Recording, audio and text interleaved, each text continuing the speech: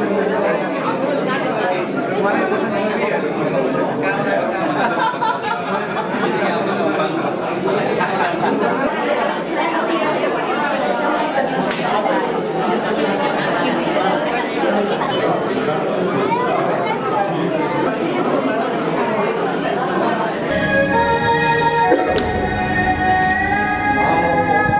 लाग्यो भने प्राय कलाकारहरू सबै राम्रा हुनुहुन्छ।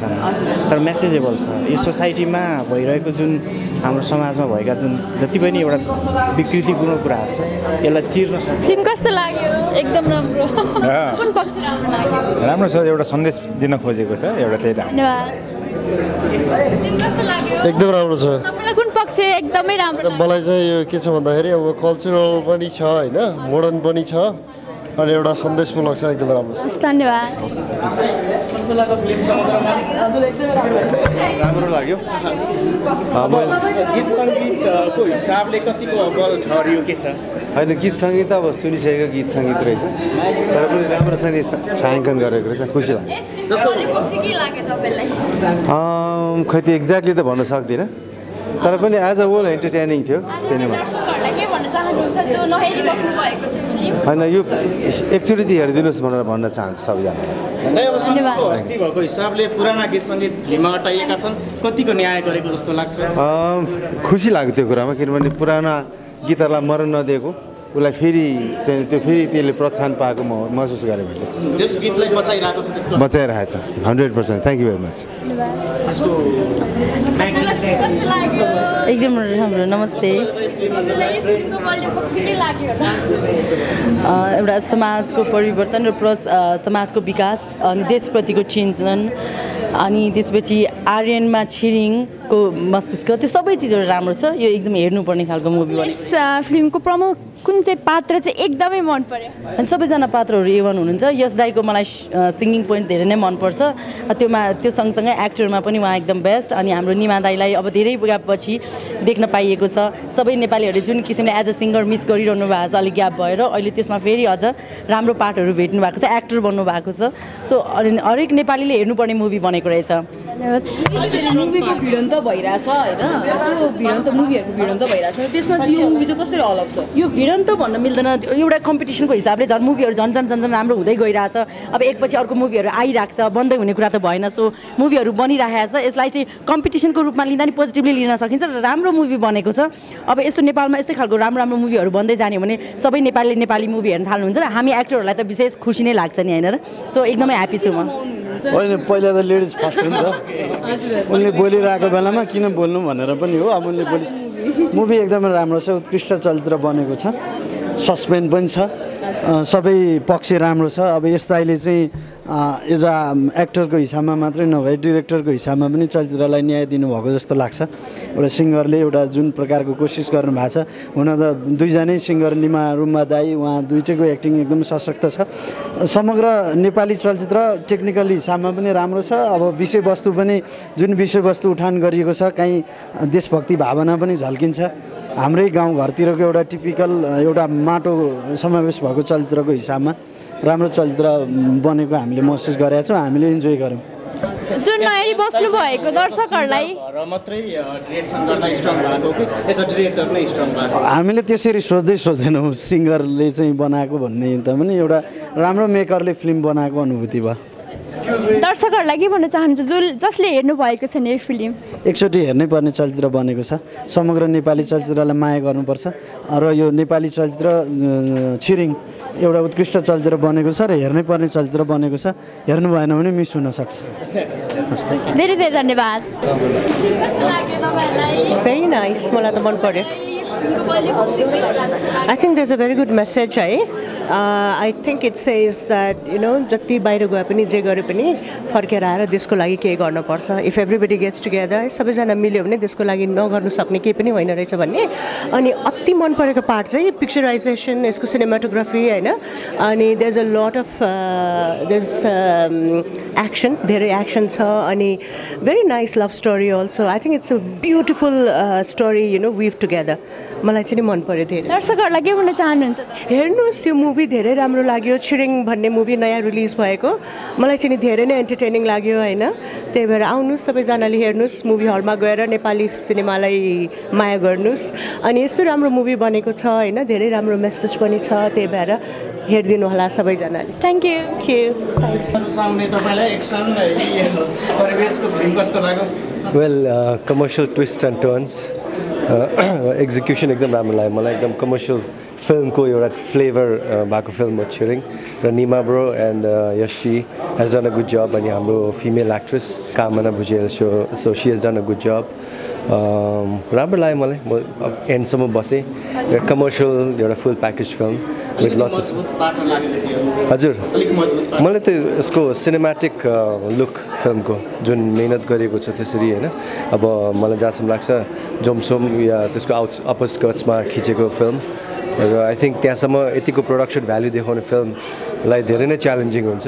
So hats off to the team अनि please support Nepali films and यस छिरिङ एकचोटि हेरिदिनु होला I think I appeal to everyone watching this thank you much अब बेसिकली के भन्दाखेरि नेपाली कथावस्तुलाई अब हामीले विभिन्न फिल्महरू हेर्दै आउँछौँ नि अहिले। त्यो पना छैन कि टिपिकल नेपाली निस भन्ने छैन कि? फिल्म मेकिङ गर्छौँ मेक गर्दाखेरि एउटा हाम्रो गाउँलाई हाम्रो संस्कृति कल्चरलाई चाहिँ त्यो जुन पोर्ट्रेट गर्छ नि जुन फिलिङ्स हुन्छ नि यो एकदम राम्रो थियो। टिपिकली लोकेसन भयो। जस्ट जुन अरू नर्मल फिल्महरूमा काठमाडौँको गाडी साडी देखाउँछ नि त्यो चाहिँ छैन। अँ, जस्ट एकदम काठमाडौँ त्यो दाई भन्दा एउटा काठमाडौँ देखायो त्यो भन्दा अरू केही छैन तर एकदम अनएक्सपेक्टेडली कस्तो एक्साइटमेन्ट के अब जस्तो इन्टरभल भयो नि। इन्टरभल पछि अब अर्को क्यारेक्टर इन्ट्री भयो नि।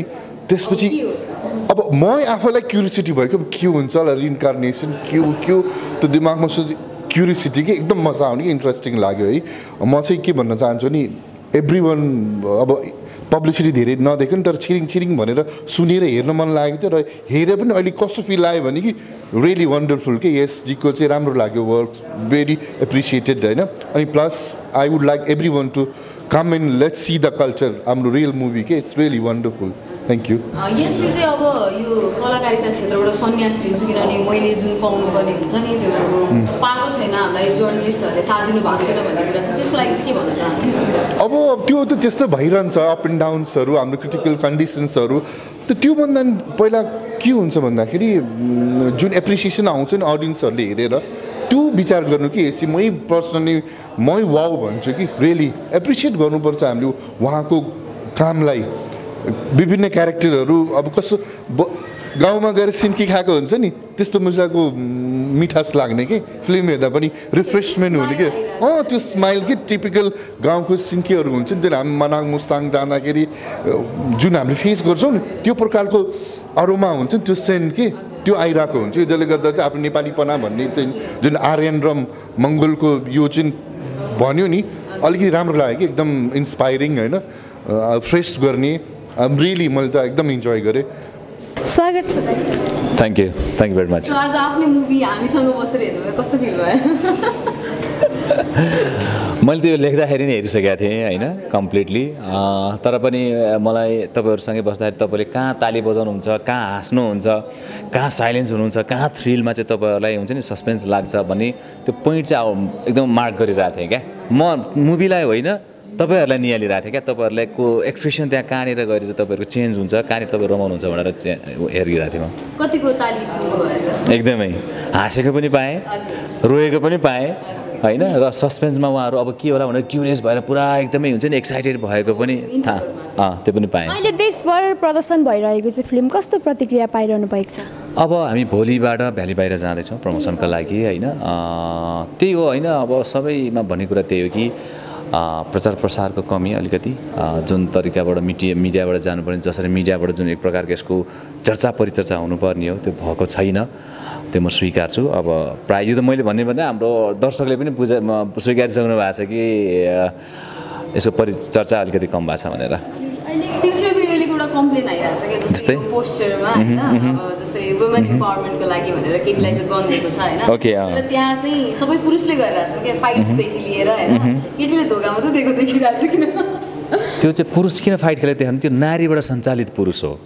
होइन? यहाँ चाहिँ के भन्छ पुरुषबाट सञ्चालित नारी हुन सक्थ्यो। तर यहाँ चाहिँ पुरुषबाट ना नारीबाट सञ्चालित त्यही नारीकै लडाइँलाई पुरुषले नेतृत्व लिएर गरे हो लड्या हो होइन? त्यही कारणले चाहिँ अब लास्टमा तपाईँले देख्नु होला जुन तरिकाको नारी कुनै पनि लडाइँ हाम्रो त्यसको लडाइँ चाहिँ पुरुषले मात्रै लड्न सक्दैन। नारीको पनि उत्तिकै ठुलो हात छ भनेर लास्टमा नारीले जुन सघाउ सघाउ सघाउँछ त्यो लडाइँ जित्नको लागि जुन नारीको उपस्थिति रहन्छ याद गर्नुभयो होला होइन? त्यसैले नारी र पुरुष दुवैजना मिलेर चाहिँ घर पनि चलाउनु पर्छ देश पनि चलाउनु पर्छ। होइन समाज पनि चलाउनु पर्छ भन्ने मेसेज हो। र त्यसै चलचित्र पनि चलाउनु पर्छ छिरिङ बनाउनु भन्दा पहिले के सोच्नु भएको थियो र के कति पुरा भयो जस्तो लाग्छ तपाईँलाई? होइन छिरिङ बनाउनुभन्दा पहिला भन्ने पनि अब सब्जेक्टहरू त धेरै नै थिए। त्यसमध्येबाट मलाई यो सब्जेक्ट चाहिँ किन मैले छानेको हो भने जुन अवस्थामा हामी आर्यन मङ्गोलियन धेरैजना तराई पहाड हिमाल बासी जति पनि मिलेर बसेका छौँ। तर बेला बेलामा जुन तरिकाको समस्या कुराहरू आउने आर्यन र मङ्गोलियनमा बढी विवादहरू आइरहेको मैले पाएको छु क्या अरू उबाट समाजबाट भन्दा पनि। अनि किन यहाँ चाहिँ आर्यन भनेर एकतिर छुट्या छन् मङ्गोलियन भनेर एकतिर छुट्या छन् तर नेपाली भनेर चाहिँ किन बिर्सिरहेछन् आफैलाई? पहिला सुरु आफू नेपाली बन त्यसपछि मात्रै आर्यन मङ्गोलियन बन। तिमी कहाँको हो के हो कुन वर्गको कुन धर्मको कुन जातिको कुन भाषाको यो पछिको कुरा हो। तर पहिला नेपाली त बनेर देखाऊ यार एकजुट भएर। अँ एकजुट भएर कुनै पनि अप्ठ्यारो कुनै पनि साह्रो गाह्रो नेपाली एउटा नेपाली अर्को नेपालीले काम लाग्नुपर्छ। मिलेर अगाडि बढौँ भन्ने कुरा हो। त्यही भएको कारणले मैले छिरिङ छाने। हजुर छिरिङ एकदमै राम्रो फिल्म बनेको छ। छिरिङ टू आउने कतिको सम्भावना छ? अब खोइ छिरिङ टु अब सम्भवतः कुरा पनि चलिरहेछ है। अँ एकदम होइन। कहिलेकाहीँ कस्तो हुन्छ भने कहिलेकाहीँ सिर सर्जक पनि सिर्जना गर्दाखेरि त्यसको एउटा फिडब्याक या भनौँ सपोर्टहरू भएन भने मान्छे अलिकति थाकेको महसुस गर्दो रहेछ क्या। अहिले म अलिकति थाकेको महसुस गरिरहेको छु। तर अब हेरौँ चलचित्र अझै चल्न बाँकी छ विदेशमा चल्न बाँकी छ हाम्रो भ्याली बाहिर चल्न बाँकी छ। त्यसले खुसी देला। फा- पार्ट टू आउने सम्भावना धेरै छ। होइन हजुरलाई नकारात्मक भन्नेहरू भए पनि होइन अब आज पनि हामीले यहाँ कुरा गऱ्यौँ सकारात्मक भन्नेहरू पनि धेरै छन् होइन। राम्रो भन्नेहरू धेरै छन्। उनीहरूको लागि पनि. निरन्तरता त दिनु पऱ्यो नि परेन अँ, दिनु पऱ्यो दिनुपर्छ। अब म प्रड्युसर हाम्रो प्रड्युसरहरूसँग बस्नुपर्छ किनभने म सिर्जना त दोहोऱ्याएर गरौँला होइन? प्रड्युसरहरूले अब धेरै खर्च गरेर बनायो यो चलचित्र हामीले एउटा हलिउड लेभललाई नै टार्गेट गरेर बनाएको फिल्म हो होइन? अब प्रड्युसर साथीहरूले कतिको मलाई सपोर्ट गर्नुहुन्छ हिम्मत दिनुहुन्छ होइन? उहाँहरू पनि खुसी नै हुन्छ तर अब फाइनेन्सियल हिसाबमा बार बार सहिद बन्न सकिँदैन होइन? तर कोसिस गरौँ सिर्जना हुनेछ। हजुर र दर्शकहरूले यो छिरिङ मुभी किन हेर्नुपर्छ? किनभने एउटा चलचित्र हेरेर जुन उहाँले खोज्नु भएको मनोरञ्जन चलचित्रमा पाउनुहुन्छ नि त्यो सबै कुरा यो चलचित्रमा छ। बाह्र मसला भने जस्तै यसमा तेह्र मसला छ होइन? त्यो भएर? अँ त्यो भएको कारणले चाहिँ के छैन यसमा भन्ने कुरा हो कि के छ भन्दा पनि के चाहिँ छैन यसमा? Action love drama comedy thrill suspense जे हुन्छ सिनारियो आमा छोराको माया श्रीमान श्रीमतीको माया चलचित्रमा के चाहियो हो त्यो सबै कुरा छ यसमा। त्यो पछाडि नितान्तै रूपमा नेपाली परिवेशमा बनेको नेपाली चलचित्र हो यो। जसले चाहिँ एउटा हिन्दी चलचित्र इङ्ग्लिस चलचित्रलाई टक्कर दिन सक्छ होइन? त्यो कारणले उहाँहरूले हामीलाई सपोर्ट गर्नको लागि र नेपाली चलचित्रलाई प्रमोट गर्नको लागि उहाँहरूले यो चलचित्र हेर्नुपर्छ। हजुर धेरै टाढा मुस्ताङसम्म गएर सुटिङ गर्नुभएको छ। सुटिङ अवधिमा त्यस्तो केही रमाइलो छन् केही सानो छ नि। तपाईँले त्यो हेलिकप्टरले लखेटेको देख्नुभयो घोडाको बेलामा?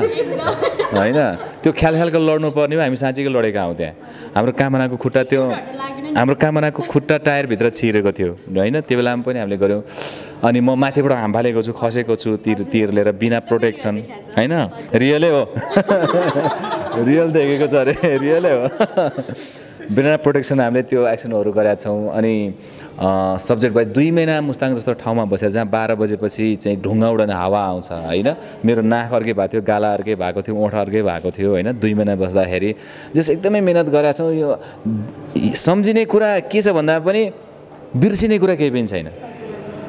सबै सम्झना लायकको कुरा जो कि तपाईँले कहिले बिर्सन सक्नुहुन्न। यो छिरिङ मुभी सम्झिँदाखेरि त्यो सुटिङ अवधिमा तपाईँले भोग्नुभएको कुराहरू जहिले सम्झ एकदमै एकदमै। मुस्ताङ सधैँभरि यो दिमागमा आइ नै रहन्छ।